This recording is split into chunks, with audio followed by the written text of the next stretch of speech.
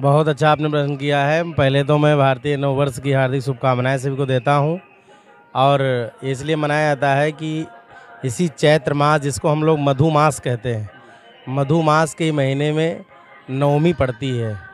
जिस नवमी तिथि को भगवान मर्यादा पुरुषोत्तम श्री रामचंद्र जी का जन्मोत्सव भी मनाया जाता है। नवमी तिथि मधुमास पुनीता, शुक्ल पक्ष अभिजित हरिप्रीता। शुक्ल पक्ष के नवमी तिथि को दिन के 12 बजे, दिन मंगलवार अभिजित मुहूर्त में भगवान मर्यादा पुरुषोत्तम रामचंद्र जी का प्रादुर्भाव इस धरा पर हुआ था, इस धराधाम पर। और हम सभी इस मधुमास को बहुत ही पुनीत मानते हैं।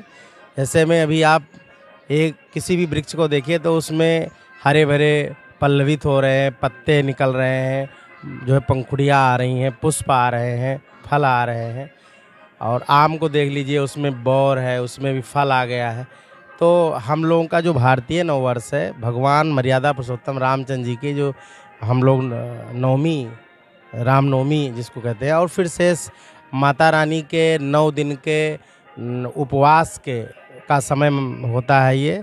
और माँ आदि शक्ति जो जगदम्बा है ऐसी आदिशक्ति माँ पाटेश्वरी जी की नौ दिन उपासना के ये दिन होते हैं और इसी में हम सभी अपना नूतन नवीन वर्ष, जिसको हम सभी हिंदू नववर्ष कहते हैं, और हमारा जो पंचांग होता है वो इसी में चेंज होता है, बदलता है।